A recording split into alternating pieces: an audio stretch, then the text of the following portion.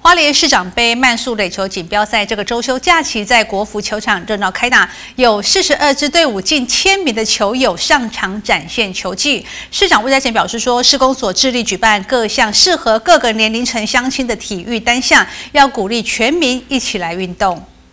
一百一十一年花莲市市长杯慢速垒球锦标赛九号起一连两天在国服球场举行。市长魏家贤表示，花莲是培育体育健将的摇篮，数十年来选手们在不同的运动领域发光发热。市长也期盼喜欢运动的朋友可以有健康体魄，透过运动赛事交流。而市公所也会持续支持各项适合大小朋友们的运动单项，把花莲市打造成为一座爱好运动的城市。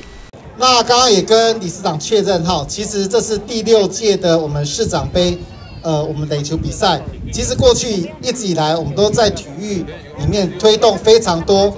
呃，好玩有趣的运动，让所有的朋友能够参加。在此，我要谢谢体育会，不论在垒球也好，各个单项也好，都给很大力的支持，也兴办开办非常多的一个市长杯。那我们希望未来有更多的孩子们或青年朋友们或长辈们。都有呃适合的运动，能够在这个城市里面继续来做相关的运动交流。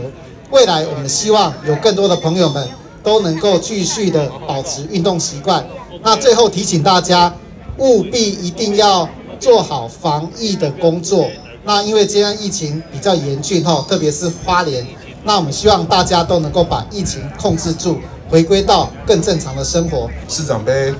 嗯。曼垒的比赛也迈入了第六届了哈，那也期盼，呃，在往后啊每一届都有市长杯来让我们所有在场的选手能在球场上来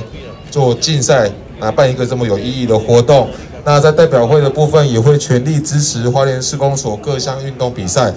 最重要的哈是对我们的曼垒的活动的支持，往后也希望市公所能编列更多的预算。